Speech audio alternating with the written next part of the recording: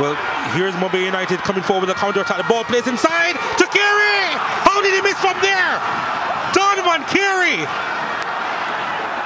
And then Toss City goes quiet.